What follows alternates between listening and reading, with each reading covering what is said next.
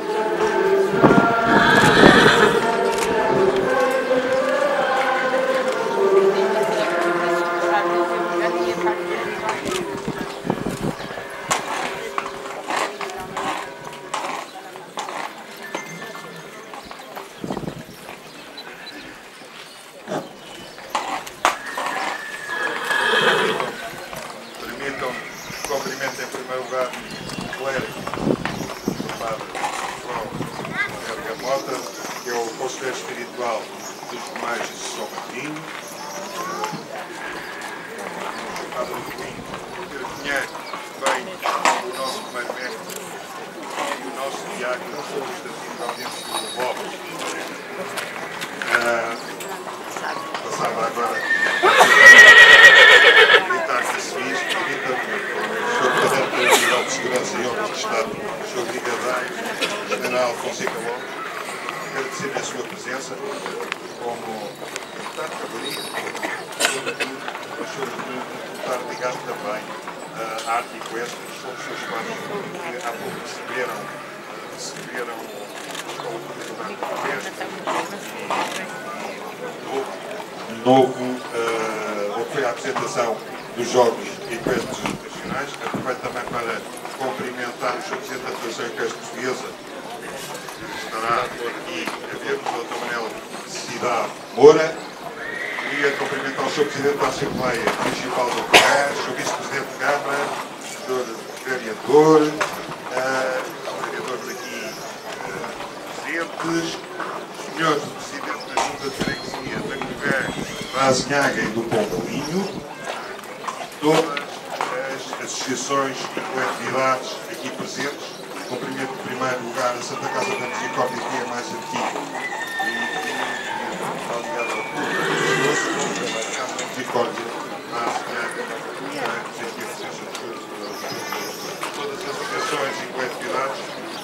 obrigado por se implicarem neste ato em que hoje é marcado, marcado também queria dirigir a todos os meios aqui presentes e ao nosso Conselho dos Meios, a todos os meios conselheiros. Não há, não há, e hoje, e peço desculpa se me faltou cumprimentar alguém, mas sobretudo hoje num ato uh, que é, uh, sempre são reedições das nossas Marias, mas que hoje é marcado é marcado pela abertura ao culto, que vai ser benzida pelo seu padre João Bergamota, a Ermida de São Martinho. É um espaço de oração, é um espaço de reflexão para alguns. É muito agradável, se calhar, vir aqui de noite e ter aqui uma conversa com São Martinho uh, sobre os nossos dia a dias, sobre as nossas ansiedades, angústias, anseios e, não, festejar as nossas vitórias e os nossos sucessos. Gostaria de dizer que uh, o município não devia nem podia estar uh, a sustentar uma obra destas.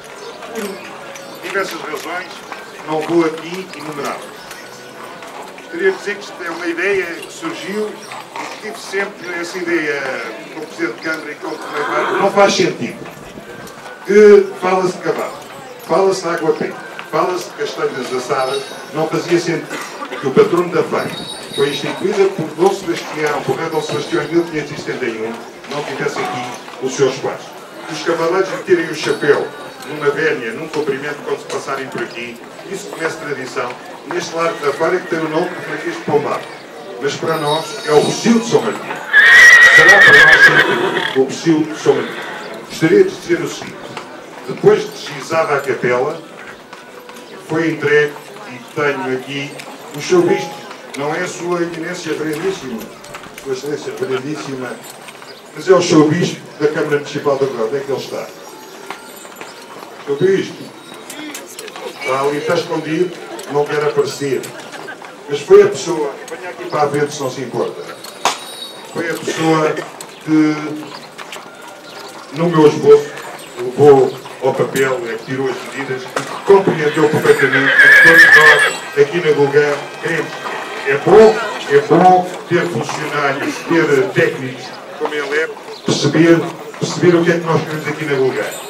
Não só, não só manter a nossa tradição, a nossa identidade, sobretudo a nossa arquitetura tradicional portuguesa. Daqui a uns anos vão dizer que isto já cá está. E tudo nasceu a partir desta etnia. Deus queira que a história seja feita assim, que será a Capela das Aparições aqui da lugar. A seguir ao seu bispo, tenho que cumprimentar o nosso chefe de divisão, o engenheiro Cássio Galvinho Nunes, que se implicou também logo por parte de divisão de obras. É claro, o meu vereador de obras de urbanismo e ambiente, mas nós aqui na Câmara somos uma equipe muito única desde o chefe de gabinete ao vice-presidente, todos nos juntámos para que tivesse, para que conseguíssemos este desafio. É um desafio, é um desafio, é um desafio por uma razão, porque nós temos, temos que ter uh, princípios, valores e convicções. Uh, eu prefiro muito mais um ateu do que um católico hipócrita. Não gosto de católico. Nós estamos cheios disso mas é a nossa convicção ao nosso público. Vou-te contar uma história, num minuto, que eu acho que é representativa. Aqui em Portugal, houve uma professora que foi das últimas que não tirou, não, uh, que não tirou o crucifixo da escola da sala de aulas. Não, não tinham tirado. Foram duas muçulmanas e a professora, por respeito aos muçulmanos, mandou tirar o crucifixo. Duas semanas depois, os pais das duas muçulmanas retiraram criança, as crianças da escola. Porque disseram, uma pessoa que não tem convicções não pode ensinar as minhas filhas. E retiraram da escola. Enquanto visto, acho que isto é um exemplo. Este é o nosso mundo. Vamos sendo invadidos por outras religiões que temos que respeitar. Mas é, é, isto é um pouco questão. E, portanto, temos que, de olhos bem abertos e de cabeça levantada, eh, exaltar essa nossa crença. E é por isso que aqui está. A seguir ao Sr. Engenheiro Acácio, que falei, e de todos, eu gostava de enumerar. Nós decidimos juntar os construtores civis, os empresários da construção civil da Guga. E juntámos num almoço, porque, como dizem aqui na lugar, somos pobres, mas associados, mas queríamos fazer uma coisa digna, uma obra digna. E chamei os construtores que eu vou enumerar, porque foi de uma implicação extraordinária. Eu disse, senhores também ganham dinheiro aqui no Conselho. E agora vão estar na altura de ganharem um lugar no céu, a construírem uh, a capela de São Martinho. E eu passava a enumerar, para não me enganar, porque vou começar.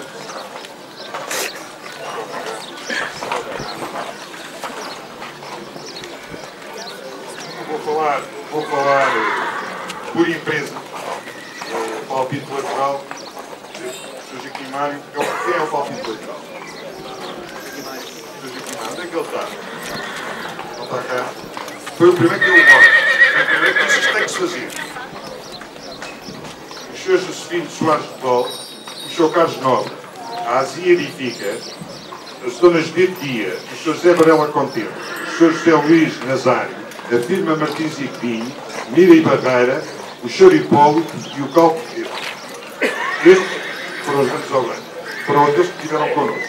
E em prol da Bulgária, querem que aqui esteja um espaço que a dignifica, mas sobretudo dignifica a nossa memória, o nosso passado, o nosso presente e que seja uma referência para o futuro. Muito obrigado a todos pela vossa presença.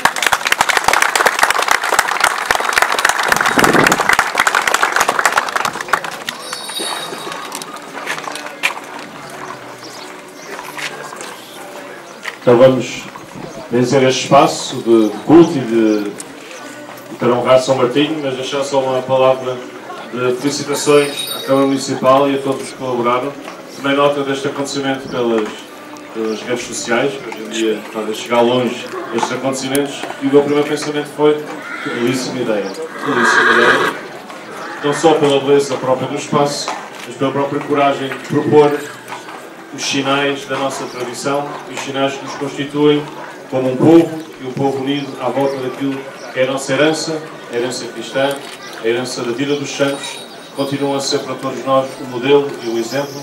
Por isso, bem-ajas, Presidente da Câmara e todos quantos colaboraram nesta capelinha, que certamente terá um lugar único no Largo da Feira de São Martinho. Em nome do Pai, do Filho e do Espírito Santo, Amém. O Senhor esteja convosco. Proclamamos, Senhor, a vossa grandeza, porque só vós sois santo e compadecido do género humano enviastes ao mundo o vosso Filho Jesus Cristo, princípio e perfeição de toda a santidade. Sobre a Igreja nascente, Ele enviou o Espírito Santo Paráclito, voz que ensina os segredos da santidade, brisa que inspira a fortaleza e a suavidade, fogo que inflama na caridade os corações dos fiéis, semente divina que produz abundantes frutos de graça.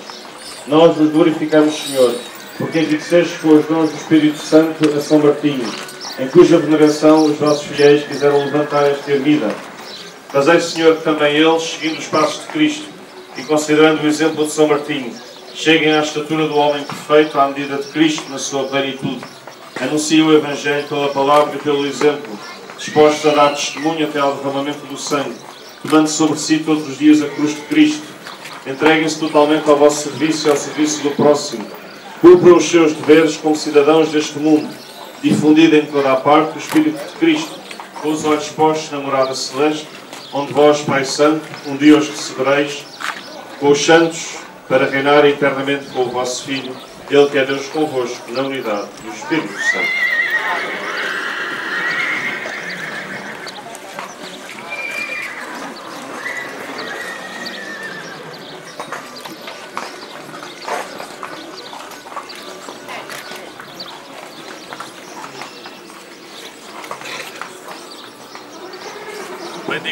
Bendigamos ao Senhor, graças a Deus.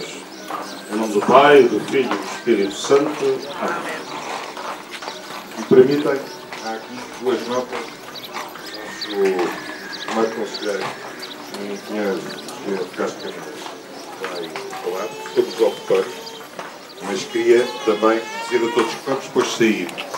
O engenheiro João Normal, nosso ilustre primeiro-ministro, nós vamos sair Primeiro, sai chupado, primeiro poema, depois não há nobreza, depois é o povo logo atrás. Permitam todos os agradecimentos que fiz a uma pessoa que queria chamar aqui, que de noite, de manhã, de madrugada, uh, não referi o santo São Martinho Calitai, do escultor, o João Clara, mas há uma pessoa se implicou de uma maneira espontânea, emotiva. Eh, na Golgã conhecem por encarregado. No fundo é o secretário do gabinete dos seus vereadores, é o Sr. António Carlos Medinas, e que lhe peço, porque teve sempre quando os outros não estão e que não podem estar. Mas, sobretudo, teve com a sua paixão, com a sua sensibilidade. Também é uma pessoa ligada ao resto folclórico da Gulgã e que tenho que aqui chamar, porque não imaginam o que teve que fazer uh, durante a fazer das, das tripas de coração uh, e foi o que aconteceu. Chantal Carlos Divinas, eu gostava de uma salva de palmas também.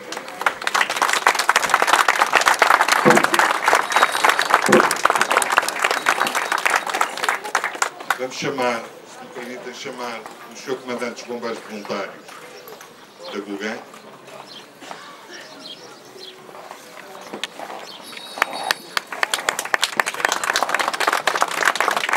Caros Romeiros, como já vai sendo tradição, todos os anos, durante a Romaria, fazemos uma coleta de donativos a favor de uma instituição do Conselho. a Romaria de 2017 fez essa recolha de fundos, quando da Romaria junto dos Romeiros presentes, e juntou 473,97 euros e essa, esse, esse valor que já deveria estar entregue aos, aos bombeiros há um ano, pois foi a favor dos bombeiros voluntários da Golgã, uh, teve juros aqui no cofre da feira e só este ano é que vai ser entregue. Prometemos que a coleta deste ano, o ofertório deste ano, a favor da Liga Local de João, da Liga Portuguesa contra o Cancro, da Liga Local da Golgã,